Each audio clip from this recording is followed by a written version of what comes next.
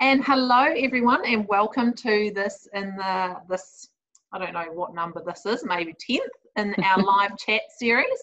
And we are now post lockdown, so we are looking tonight at uh, outdoor play, especially through winter and then beyond. And I think that's come about because you know, we were talking about a lot of people getting outdoors through lockdown. It was in kind of some quite a lot milder weather.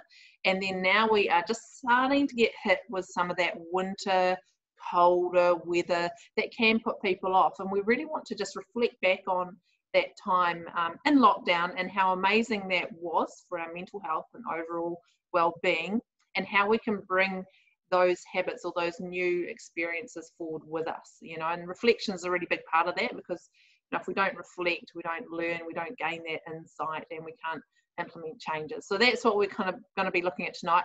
There's going to be lots of practical tips. We are going to be looking at practical tips on how to get outdoors as a parent and as a teacher.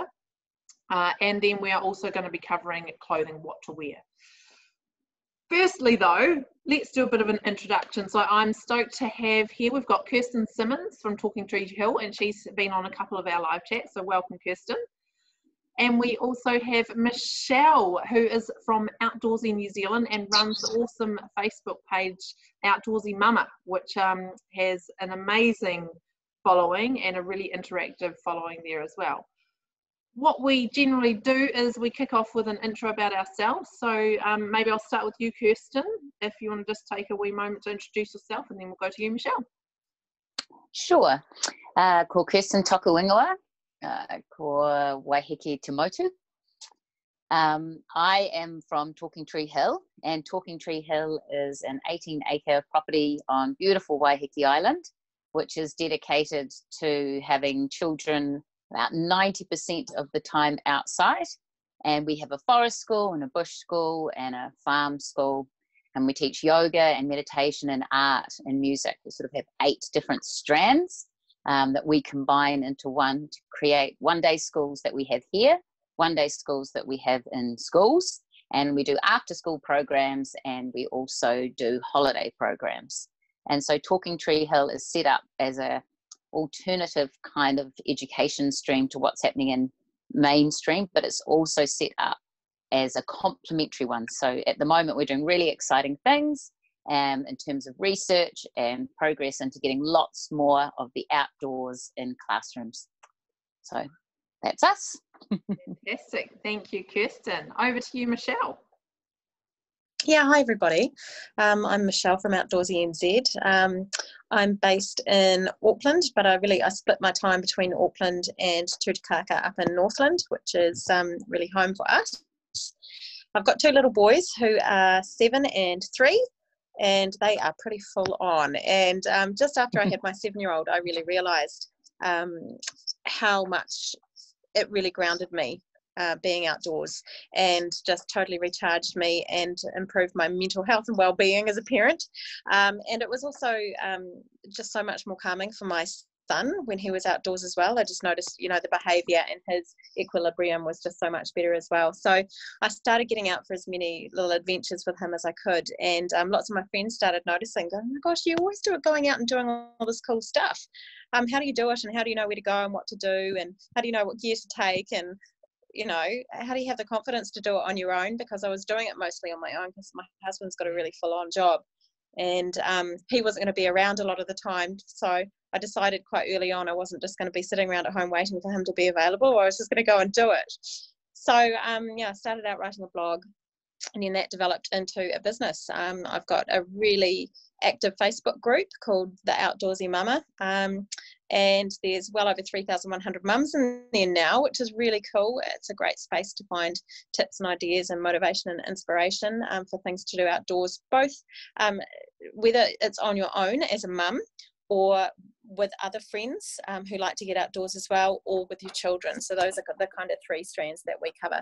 And um, yeah, so I run a membership with a calendar of events that's based out of Auckland that you can choose from if you want to be a member. Um, but the Facebook group is free, and um, I'm also developing a program for corporate health and wellbeing to try and help um, mums who've got busy corporate jobs to fit more of the outdoors in because it's really hard to prioritize your time. I know. Totally. Hey, awesome. That sounds great. Thank you both. That's brilliant. Um, I'll do a quick intro as well. So, kia ora, I am Celia Hogan and I am founder of Little Kiwis Nature Play. And I guess um, I'm a, I'm a big advocate for outdoor nature play, risky play, building resilience, uh, and and through that, it naturally morphs into improving mental health and overall well-being. So those are kind of the key areas I'm advocating for, and how I advocate for that is through advocating, but also I run professional development training programs for teachers and parents, um, and and that's been going really well over the last couple of years and building up, yeah, building up quite a cool following as well, and lots of support nationally just for that whole nature education movement. So I'm pretty proud to be involved in that.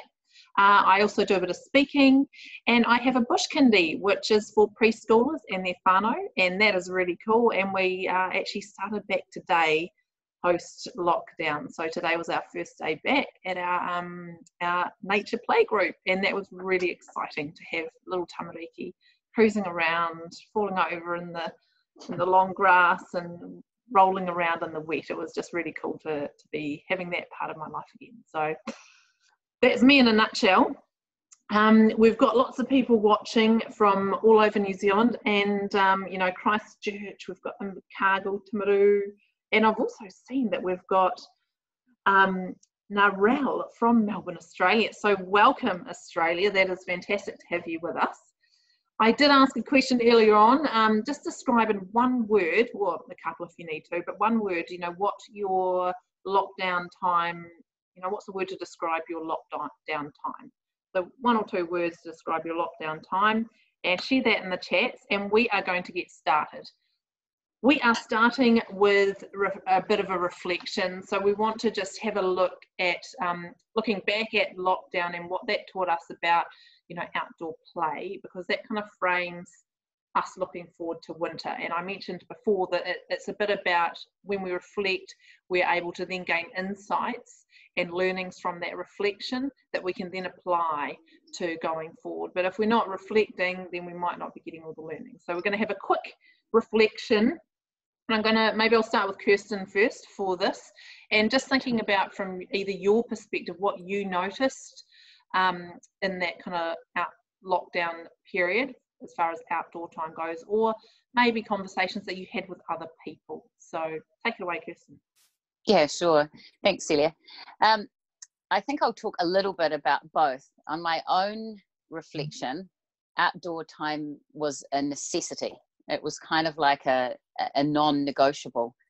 It was that, you know, we were allowed to walk so we could actually get outside past our you know driveway and and notice the things around us um, it was a really important time because it was a time if i was going for a run myself that it would be my calming time to kind of get my mind and my body working together. But it was also a beautiful time for getting the children out either both of us you know like i have two boys zach and leo with, whether they were both with me or i was just one of them.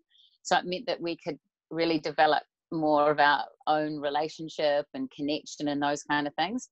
And it just it was just so obvious that it, we all needed to get outside and we're really lucky because we have such a big outdoor space here but the boys also wanted to be able to venture further away and we really didn't leave the property much but we could go down and leo has a little friend down the road that you know he, they waved to and, and at night time we did like morse code um, on a on a on a light and things like that. So it meant that we could keep relationships going that just went on Zoom. Um, you know that we could get out and we we we thought of different activities. You know, like. You know, our neighbour texted us to do that Morse code thing, and I was like, I would never have thought of that. That's brilliant. And we waited up at night and we did that kind of thing. Um, mm-hmm. and I think it, for us and for the other people that I was talking to, you just got that real appreciation of of the sounds of nature. You could hear a lot more again You wanted to play outside a lot more because it it was fresh and the, it was it was one space that you could get to out outside of your house couldn't go anywhere else right so you yeah. could go for a walk or you could do you know any activities that meant that you could kind of get rid of a bit of physical uh, energy and for us it was um, such a great time of reflection in that in that as well and that time to recalibrate and also to reca- you know like we put in another garden. So we actually had time to do things like growing and getting the tunnel house. The peacocks then got into that garden. So that was a bit of a bugger. But um but for us, if I'm, you know, thinking about how we found it, we found that we got to spend more time outside and notice the reasons for the seasons as well. Um, and as a family to connect, I think that's the big things. And and that's what I heard from people as well. They could go into mm. their the green spaces that they were at. They could see what was there when other times they might have just been rushing past it to go from A to B. So yeah, when I think about that, I guess my word is it was necessity for many people. It was their out, you know, mm.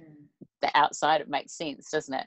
So yeah, that that's what I would think. Um, yeah, just cool. in a really small way of saying that. Yeah. Yeah, that's great personal reflection. And and Michelle, what about for you, or for what you noticed with with other people? What what's your reflection on that time?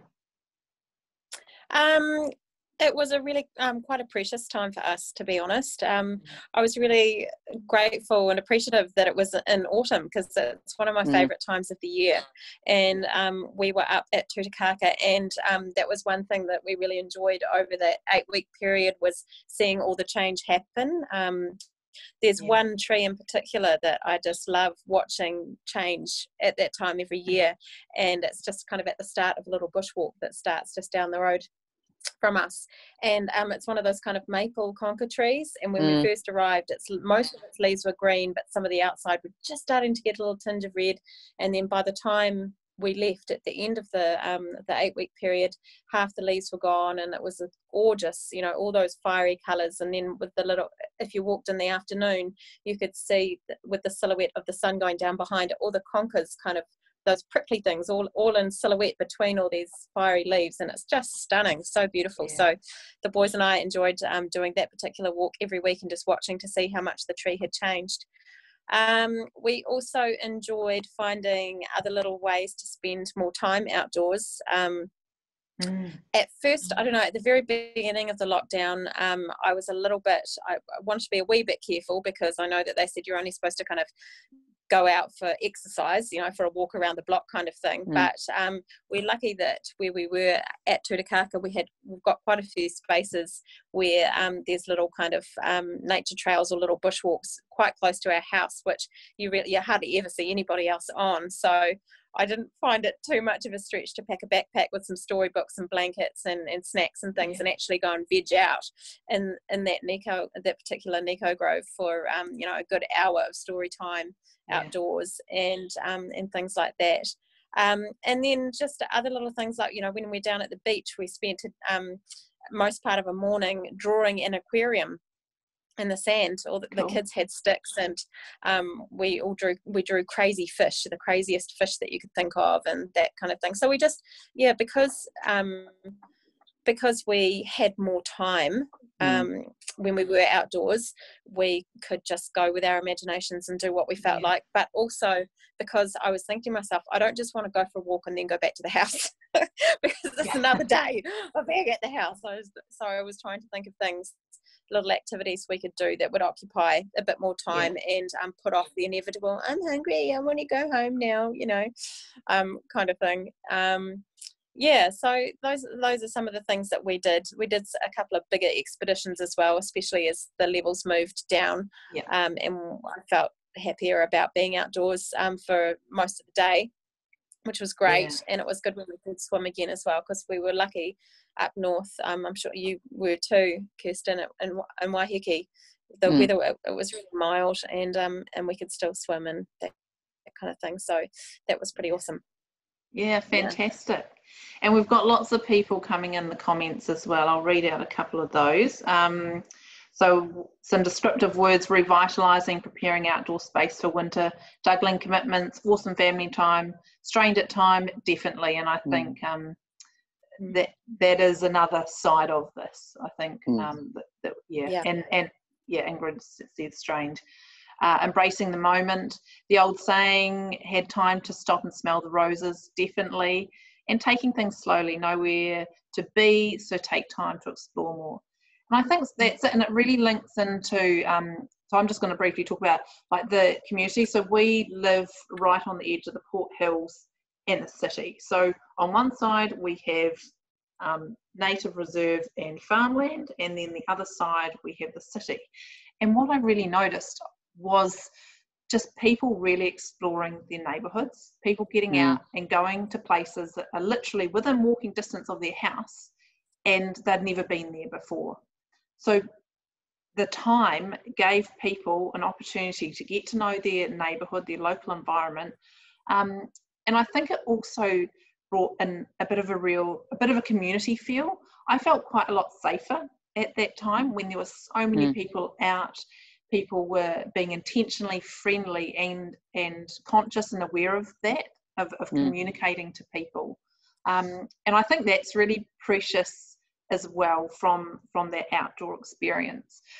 But it's that connection into the next section we're going to talk about. And we'll only talk about this really briefly, just so I want to give yep. as much time for tips. But just looking at the um, how you know how are people spending their time connecting to their local environment because it's actually a really important part of um, of creating that relationship with nature is spending time in our local spaces because when we spend time in our local spaces regularly we learn to love it and we learn to care for it and become the future kaitiakitanga of that place or the future guardians of that place and that is really what i saw happening in in our city environment people got noticing you guys both talked about noticing what's happening mm. in nature and people were noticing what's happening in their local environment. So um, let's have a, a, quick, maybe one minute each on what was my question. It was going to be, you know, how were people spending their time in those local spaces and what are the benefits of connecting with their local environment? So should, Michelle, do we want to start with you this time? So what are those benefits of connecting with local spaces and how are people spending that time? So just a real quick sum up from you. Um, yeah, I, I really enjoyed seeing um, other families and other kids out on the beach. And like you said, um, like on purpose, everybody would make eye contact and smile and, and talk to each other. And even though we had to, you know, keep our two meter distance from other people and, and things, um, everybody would still be calling out greetings and, and things like that, which was really cool. Um, and I, yeah, I think it's just what you were saying about kaitiakitanga, that's just such an important concept. And I think that the lockdown was a really good opportunity for our children to start to realize more that they are actually, you know, um, they are actually guardians of what is around them. And I did see a couple of families out there with rubbish bags going for a walk along the road and picking up rubbish along the side of the road. Oh. And um, when whenever we go to the beach or um, go for a, a, bit of a um, mission around the rocks because we love going around the rocks at low tide. We always take um, a little receptacle with us to pick up any old fishing line or anything like that. Oh. But um, um, yeah, I just I, I, I, I especially when I saw that family along the side of the road, because we do that sometimes, but I haven't actually ever seen anyone else doing it yeah. in our neighbourhood. I know that once a year, some one of the local restaurants actually organises a community roadside cleanup. But um, I just thought, yeah, that was really neat and it was really good to see. Yeah, cool. And uh, Kirsten? I yeah, I think yeah, I think for me it was that we were engaging as a community and giving back without actually all being together. Exactly what you were saying, Michelle, was was the point that I was going to make is that things were cleaner. Like there just wasn't as much rubbish around, and if there was, people were picking up. Like I mean, I can never walk past rubbish anyway, but um, it felt like the pe- people really got the benefits of connecting to your local environment and thinking about respecting it. And I think actually children really do naturally do that. I mean, they love nature before they have to protect her. But I think the adult capacity really came in. Um, and I think that was a nice shift as well. So for yeah. me, the one thing that I wanted to say around that was that I just found things so much cleaner, so much um, uh, quieter, and there was a, we, I think we developed a, an appreciation in those spaces of community, community and linkage to the land. You know, those really important mm. relationships mm. around that, and I think that became really, um, yeah, we were really aware of that. Mm. Yeah.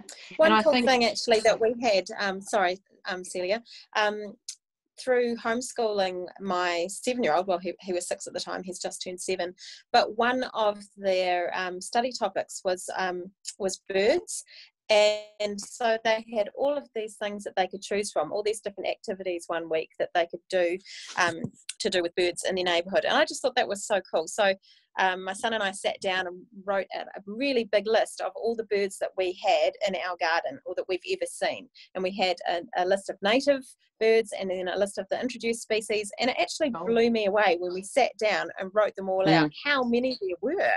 And mm. um, yeah, and Nate was pretty amazed as well. And so that was that's just another way for him to realize what a special place it is and that it's mm. we're not the only ones who live here. So, you know, it's not cool um, for us to just stuff it up. Yeah. And as adults and as well. That's really cool yes. as an adult to notice that. Yeah. And yeah. I think that's the, that's that key thing coming through this conversation and excuse me, previous ones as well, is that slowing down has enabled us to really reconnect with not only ourselves but our, our environment. And through the slowing down, it's been a lot of walking and biking in our neighborhood neighborhoods, which was swapped out for the car. When you're in a car, mm. you don't see all this stuff, you don't notice it, you don't smell it, you don't hear it. So so that's been a really big shift. And I think that's definitely a tip. you know, yeah. you've you've yeah. got to get out and walk and bike in your neighborhoods to be able to notice and yeah. and then you have your environment yeah and you have and also to connect with each other because we mm. had a mm. lot more conversations when you're yeah. just walking down the road you've got much more time to talk to each other about what you're observing and to ask questions about um, which way which direction do you think east is from here? Or think yeah. things like that you know just using the sun and, and teaching the kids all those kinds of things and mm. making observ- observations about the weather and, and stuff yeah. like that. It's just yeah it's cool. It, um, your kids just um, their natural curiosity takes over and you've actually got time to talk about all this stuff. Totally. So it's nature connection and human connection coming together. It's fantastic. Mm-hmm. yeah Right. Well, I think that leads us nicely into our, it's kind of, I'll call it our tip section. Um, and we are thinking about those learnings and those reflections from lockdown and just outdoor time. And we are going to offer up some tips and ideas on how to um, carry those on, carry out carry on that outdoor time, especially through winter. Because I think winter yeah. is a harder time to get outside, and we can easily just go, oh, no, I'll just stay here inside in front of my fire and stay warm. But um, this is hopefully going to give you some ideas for both parents and teachers on how to keep getting outdoors over the winter months. So we'll start with some tips. We'll go around the circle a couple of times and then we're going to move into clothing at the end. Mm-hmm. So, Kirsten, do you want to take us away with your first top tip for getting outdoors this winter? Yeah, absolutely, absolutely. I think you need to make outdoor time non-seasonal. So that's my first tip. That it's you do it every season. So I, there's tips we'll give it to you about winter, but actually, if you reframe your mind and say this is actually just a habit that we do, and that we spend uh, one hour to three hours a day outside, and you create that habit. Now, we will talk more about the clothes that you need to wear and all those kind of things. But I think if we start with, and I, as Celia knows, I often start with mindset. If you change your mindset and change your habits to go, do you know what? This is just what we do. So you continue that. But when you come back, yes, you can warm yourself against the fire. You can have a marshmallow, uh, you know, at the fire, or you do it while you're outside. So that would be my first tip. And then my second thing is is plan your time. So you make sure that you put that in. You allocate time every day. You plan a hike where you're connecting with Michelle, with the mums, and she takes you off on a hike or something along those lines.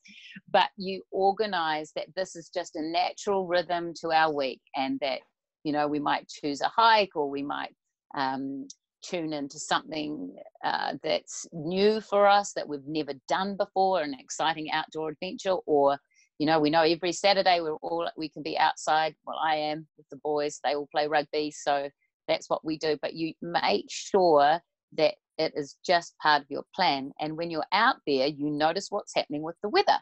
So when you notice what's happening with the weather you take things on the walk that you need. You make sure that you've got gumboots on that you've got tools that you can take with you. You have a magnifying glass that you can sort and classify beautiful things. Like as Michelle said, autumn was just amazing for that. You think about what you're looking for and you collect it. So you take the outside back into the inside. So you get lots of different things, and then you bring it back and you create activities. Um, and I'll pass this on to Michelle or Celia now because I know we're going around the circle. But that's just kind of three or four ideas for a start that what we can do. Cool. Go, Michelle. That's brilliant. Kirsten, as always. yeah, great. Um, yeah, I like you, Kirsten. I love the idea of bringing the outdoors in and mm. um, and having little collections of things. You know, whether it's driftwood that you can just kind of put on the coffee table, or a little collection of rocks or sticks.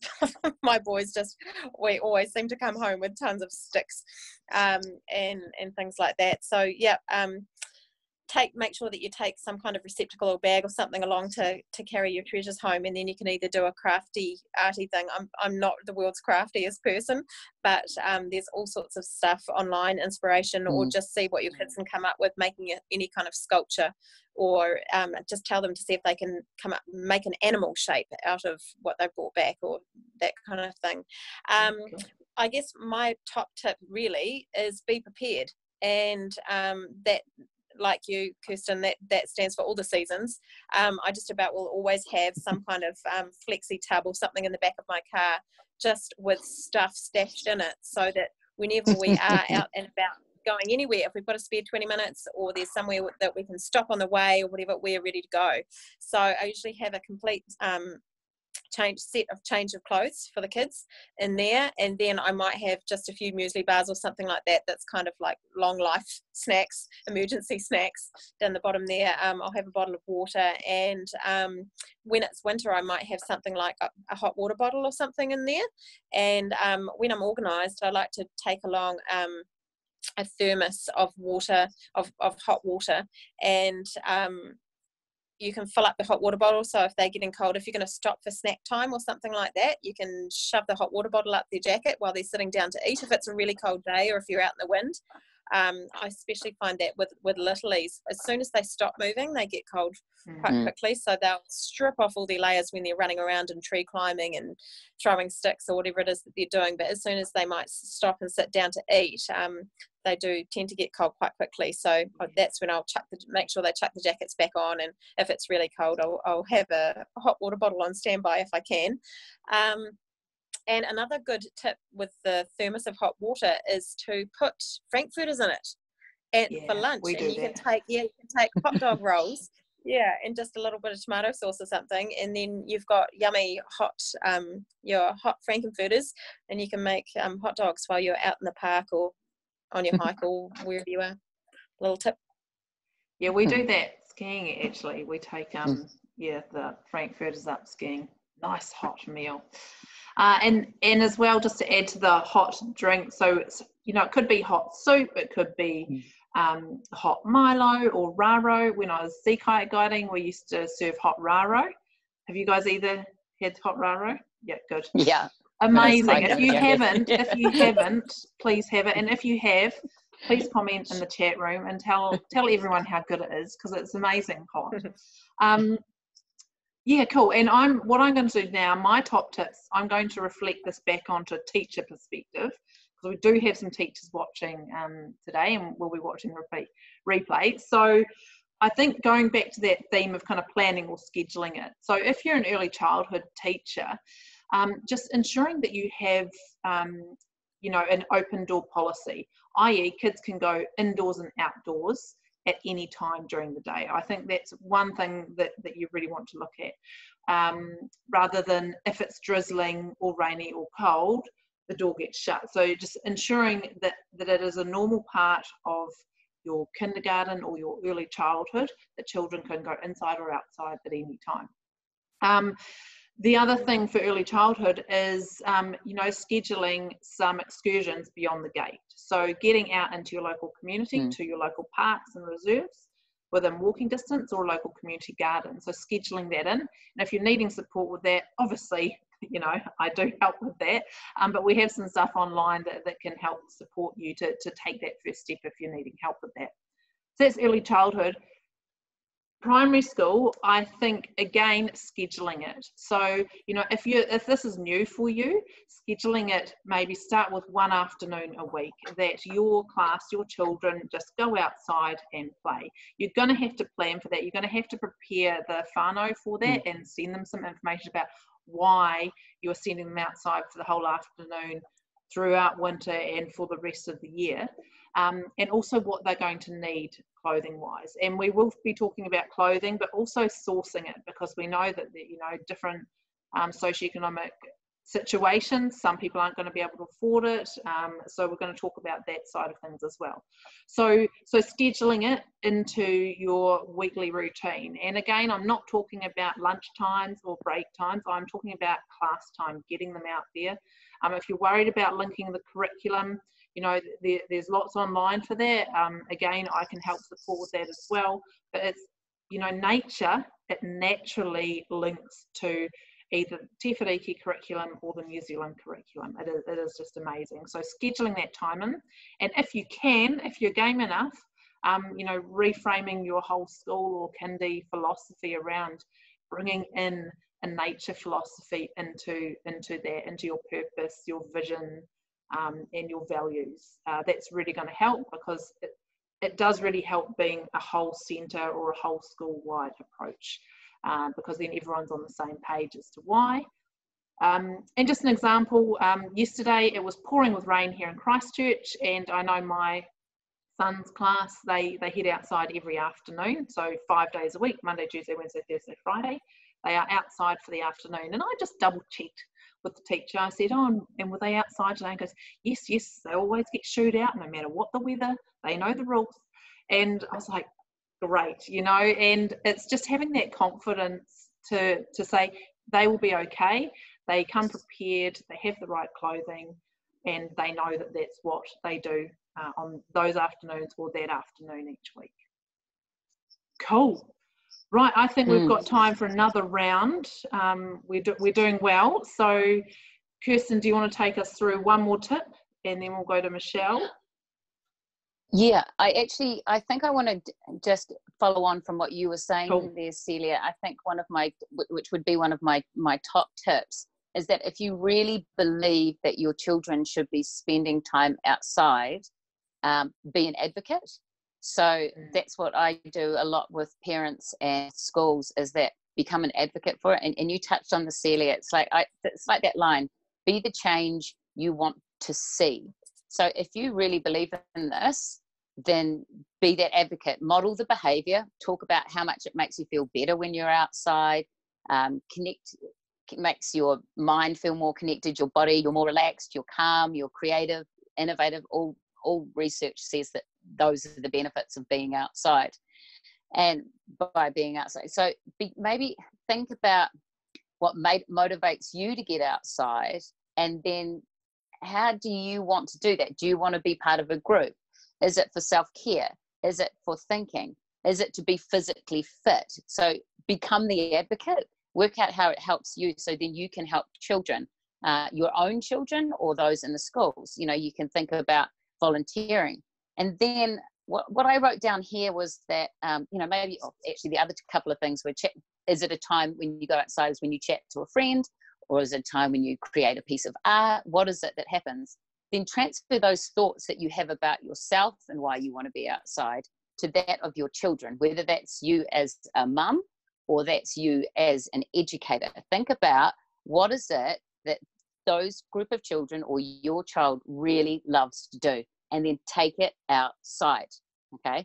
So that's my top tip, top tip for that is that think about, know your children, observe what they're about, and think, okay, can we take this and do it outside? So the schools that I've been working with, we're like Celia's um, son's school, we have I've now got them up to the idea of you know kind of having afternoons outside. Actually, the teachers came up with them themselves, and they do a full one day school in school as well, completely outside. Cool. Every every week, every every season. So I mean, it comes up with that, that that saying, isn't it? There's no such thing as bad weather, only bad clothes, right?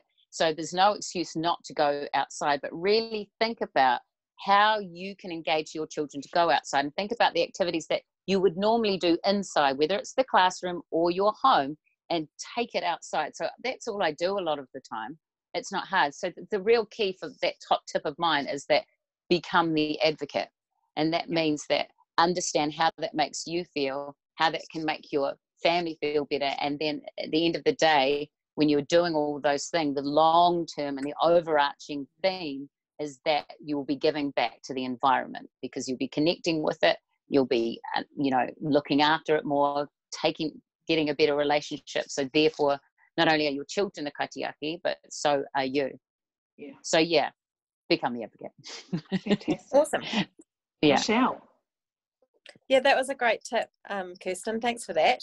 Um, and following on from that, I think that a really good way to look at it as well, um, in both getting ourselves outdoors and out, getting our children to want to be outdoors more, especially throughout winter, is you know whenever we are experiencing um, inclement weather, kind of reframing it instead of th- saying to your kids, "Oh gosh, what a yucky day," or "Oh, um, I don't want to do this it's, it's too horrible outside or you know using those kind of negative words to describe the weather Mm. um, try and think about positive ways that you can talk about that kind of weather um, if Mm. it's really blowing hard it's really windy you can say gosh i just love windy days like this you can feel the energy in the air or if it's absolutely belting down with rain you can you can talk about um, the beautiful sound that it makes and how how it feels on your skin or um, or Mm. um, if you can feel like it's giving you a little um, like a fairy massage or something through your raincoat or um, look up that gorgeous poem by Hone Tuwhare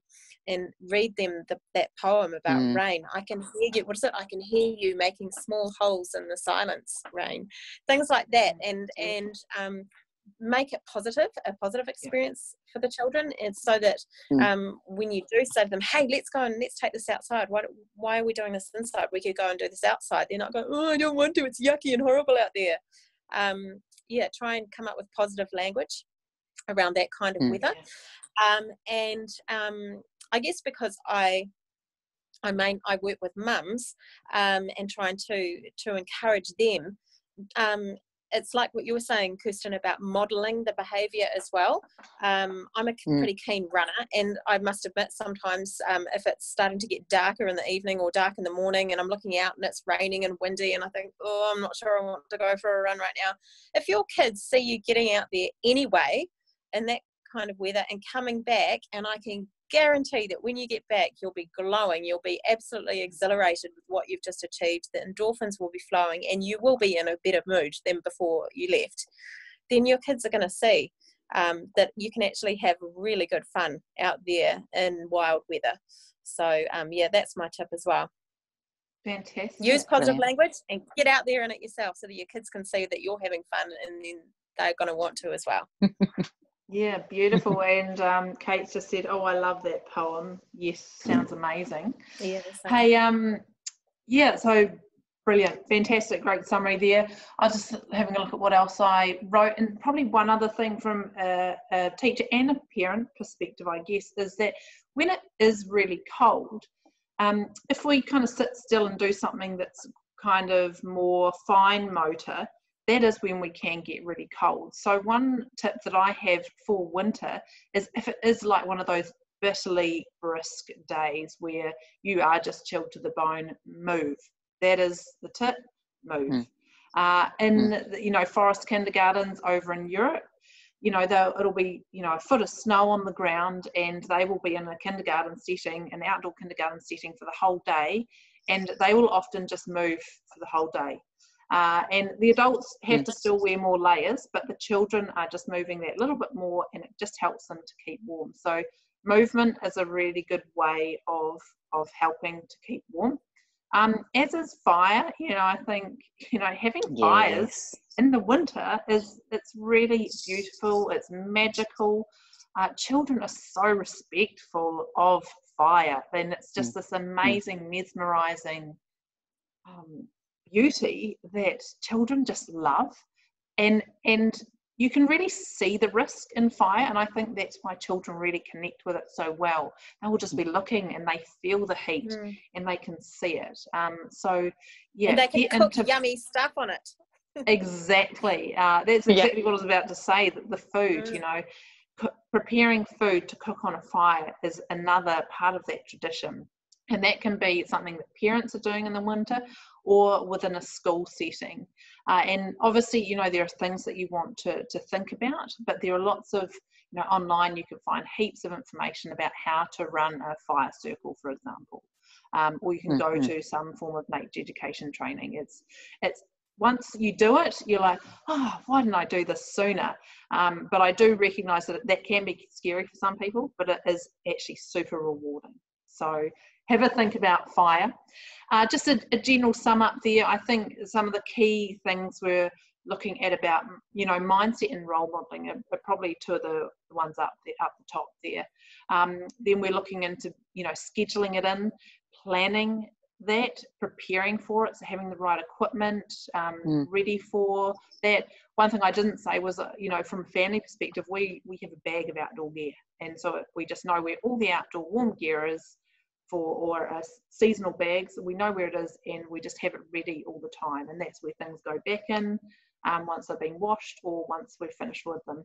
So just being prepared, um, organised, and that also goes for schools. You know, so making sure your parents know that they have to um, that their children need to come with this kind of equipment. Um, the other thing that Michelle was touching on was that you know positive framing and you know so framing everything in the positive or turning things around in our mind, especially around weather, because it is super easy to go, mm. oh it's raining, let's head back inside. So how can we reframe that? Right, we are getting close to time, so we're going to move through our top tips on clothing, um, kind of probably let's go bullet pointy type style, just so that we can help with the timings. Uh, Kirsten, since we're going around that circle, do you want to start with just a couple of things to think about? And we're going to be thinking about it from a children perspective and an adult perspective. Hit us. Go. Awesome. Well, Celia, actually, if you read her newsletter, has nailed all of it. So I don't really need to say much. I read that today and I thought, oh, God, that's good.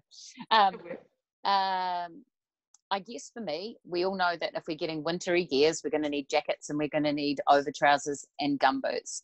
And um, so I'm going to do different ones. But what I was thinking about is that perhaps this is a time when you and your child could learn to make a hat and a scarf together. So you could actually be knitting things that you want to use. I'm not a knitter, but um, my boys, well, Zaki can. So maybe it's something though that if they make it, they might wear it as well. Because sometimes keeping hats on children can be a bit of a nightmare. But maybe if you actually do that together, they can keep it on. Because as we spoke about, um, Celia, and as people know, you lose all your what eight percent I think it is out of out of your head. So you need to get those hats on in winter for sure to keep yourself nice and warm. Um, and I think my second suggestion, and you girls will go a lot more into the things to get, but when you are buying things, try to avoid buying them new. So I, you know, I always think of the seed to garment process. So where does it start and where is it going to um, end? Where does it finish up? And because our byline at Talking Tree Hills, Healthy Children, Healthy Planet, that's what we're always thinking about is when you get something, how long is it going to live? And when it's when it's lived its life, where does it go to? So I just wanted to say a couple of things around that. Um, basically, avoid buying new if you can. So the fashion industry, I'm going to just read a little statistic here, if you don't mind, Celia. Go for it. Um, yeah, the fashion industry emits more carbon than international flights and maritime shipping combined, and fast fashion produces 10% of all humanity carbon emissions and it's the second largest consumer of the world's water supply and pollutes oceans with microplastics. So you need to also think about what textile you're buying.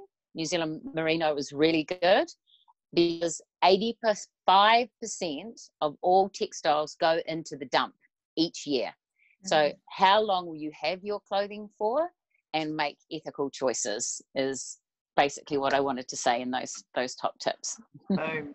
Thank you, Kirsten. Yeah yeah. Right, Michelle, over to you.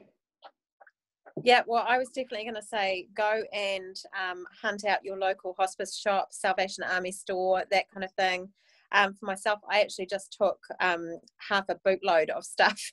I'm having a big clear out at the moment.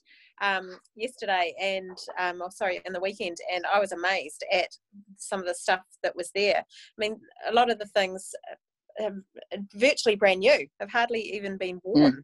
Mm. Um, jackets and um, and woolly vests and gumboots and things like that that children just outgrow so quickly. Um, yeah. You don't have mm. to buy new ones, and they're a fraction of the price. Um, and mm-hmm. also, um, my second tip is to um, just ask around in Facebook groups. That's one of the best places to yeah. to get hand me downs. And um, mums, we're always trying to get rid of stuff because you know the kids do outgrow so fast, and if you don't clear it all out, it just ends up piling up somewhere in your garage, and then all of a sudden you can't even open the door to the cupboard under the stairs or whatever. So um, yeah, get a good network going with some of the mums in, in your neighbourhood, maybe at school or whatever, and make sure that gear is getting passed around. Um, borrow if you if you think if you're just going to go on a ski trip and you and you don't know if you're going to something that you're going to be taking out then just borrow gear. You don't need to go out and buy stuff. Um, see you know see how your kids take to it that kind of thing. And um, there was something else that I was going to say. Oh yeah, the, um, one other thing that can be quite good if your kids get particularly cold hands and feet, and you're finding that's really affecting how long you're going to be spending outdoors, you can actually get those little um, snap things that are quite good for. Um, they go into your ski gloves or into your um, into your socks or into your boots, and um, you just you buy them and then you you kind of snap them, and they just emit a really really slow warm heat um, for about three hours, and you can pop them into kids' boots or into their gloves um, to keep them warm if they seem to get really cold in the extremities, even if they are running around. Yeah. Cool. Um, I'm going to add to that from probably my environmentally friendly aspect. Sheepskin, sheepskin is great to put in the bottom of gumboots um, because gumboots do get really cold. They're not like running shoes, which are a lot more insulated. So putting that or cell foam matting, so you know um, the the cell foam bed mats that you kind of sometimes see for camping. You can kind of cut out a foot pattern, put them in the bottom of a gumboot. And I think especially for the South Island, um, it, it, gets just so much colder the further mm. south you go. So just keeping that in mind that if, if children have cold feet and they're outside, that, that will end a session outdoors pretty quick. Um, yeah, mm. it just ends it quick. So get something warm in the bottom of their gumboots wool or natural fibers are the best way of keeping children yep. warm, especially against the skin. I think we've briefly touched on this, but I just want to reiterate that because if you put cotton next to a child's skin and they do sweat, that's actually going to keep them cold. Um, but also, it doesn't warm up. Whereas wool, even if it does get wet, or merino and thermals as well, when they get wet, they will keep you warm, even though they are wet. So mm. that's just a really key thing. I always see cotton on children. Um, uh, so just really try that. Again, op shops are great for wool and thermals. You can pick them up pretty cheap. Trade Me is another place I've been. I always search on Trade Me for for thermals and asking around. Um, if you are a centre or a school, do a call out to your, you know, your whānau or one of your neighbourhood pages and say, hey, has anyone got gumboots um, in these sizes that they're willing to donate? Especially if you're a school or a centre where um, people struggle financially, I think that's a really good way of bringing things in. Or hand-me-down jackets and thermals and um, even woolen socks. Or contact your local warehouse or um, local store and say, hey, can, can we get some sponsorship? Um, I also mm. see a lot of centres and schools starting to apply for funding for clothing. So mm. that's a, another thing that schools and centres can do to be able to get, um, you know, get their children kitted out so that they can stay outside and play. Um, what else did I have? Um, I had heaps of tips in my little newsletter. Can't even remember what else I you did. And yeah, I think a big think one. One other thing I'll say, just sorry quickly, Kirsten, was the hat thing. Um, yeah. I find really thin hats are quite good because when children do get really hot, if it's really thick, they tend to whip it off. But a nice thin merino one, while it might be a little bit cold to start with, it's actually really good when they're playing and they'll often last a bit longer. Right, Kirsten. I was going to say, one of the things you said in your newsletter then was oh, also just about layering. That, ah, that yes. was an important one too to think about what goes first, as you said, did you want to speak about that, Celia? Yeah, sure. I'll yeah, be real was... quick, and then we'll probably have to wrap it up anyway. But so so layering is yeah. really important. If you have a really big thick layer, um, you take that off, and then you get really cold. So having lots of thinner layers on uh, is mm. much better and it helps you really regulate your temperature or children regulate their temperature easier so so think about those layering and the material that is and um, we've touched on sourcing as well maybe in the comments um, share with us, you know, I know we have talked about ethical sourcing, but also someone has to buy it new at some point. So, what are some of the maybe New Zealand brands or local brands that you've used that really work for you? So, please share those in the comments, and then people can have a look at those when they read back through. Um, we are going to have to wrap it up there, but I think we, we've covered a lot of the key things. You know, kids need to be warm as well as adults. Um, oh, we didn't really touch on adults. So just quickly, adults, you're going to be standing around a lot more, so you're going to probably need another layer or two if children are playing. Um, you're going to get a lot colder. Jeans don't work. You also need to have thermals or leggings on or, or something that's actually going to keep you warm. I always wear in the middle of winter and um, waterproof pants over the top. Um, yeah, every winter. That's what that's what I wear with gum boots uh, and down jackets are fantastic as well. They're nice and puffy, especially if you're a teacher on duty. Um, you know, that's going to keep you nice and warm out there, and woolen gloves. So, yeah, I think we've covered most things now there. Last thing we are going to finish off with, I thought um, maybe a 30 second kind of brief. How can people contact you? And um, maybe start with Michelle. How can people get in touch with you if they want to connect with you further? Yeah, sure. So um, if there's any uh, any mums out there who are wanting a little bit more adventure in their lives, um, both for themselves and for their kids, you're welcome to come along and join our free Facebook group. It is such an awesome, supportive community. Um, it's called The Outdoorsy Mama. Um, not to be confused with a smaller American one called Outdoorsy Mama. So make sure you put the the in front of it. Um, and yeah, we'd love to see you in, in there. You're going to find it just such a treasure trove of information, and feel free to ask uh, your own questions about um, any any trips you might have coming up, um, any cool local places to go in your area that um, are suitable for the ages of your kids. Um, if if you'd like to um, meet up with any other mums in your area to get together, mountain biking or anything like that, um, it's yeah, it's a it's a really cool um, little community that we've got going there. So you can find us there. Um, uh, you'll also find out more about our paid membership there if you're an Auckland mum. And um, if you just want to email me, please feel free at hello at outdoorsy.co.nz. Cool, and we've got your website is on the post for this live, so um, you can check that out or connect through there as well. Fantastic, Kirsten. Cool. Thanks a lot. Cool. So one of my other top tips was that if you're not um, an advocate, but you're totally a smart person, you know that the outdoors is essential for children, you can outsource. So you can outsource to Michelle or to Celia or myself um, so that you can get all these groups going or you go to them or whatever. So, what we do uh, for Talking Tree Hill is that you can get in contact with us through our website, which is under my name, Kirsten Simmons. It's just about to change over to Talking Tree Hill. You can also go onto our Facebook page, which is Talking Tree Hill. And you can go to our YouTube channel, which is Talking Tree Hill. So, yeah. the, there's a trend there. Um, so, when you go onto the YouTube uh, channel, for example, we have lots of different activities. Now they're hilarious these videos because myself and my whānau and different contributors from around Waiheke put together these um, beautiful little videos, and we're very excited that we're actually going to be launching ourselves a lot more online. So this is the first oh. taster to that. So in July we'll be doing that, which is very exciting. And so what will happen then is that the stuff that we do here at Talking Tree Hill, we will put up so that you can try that at home or that you can try it within your schools. So that's going to have a um, two two kind of approaches with that.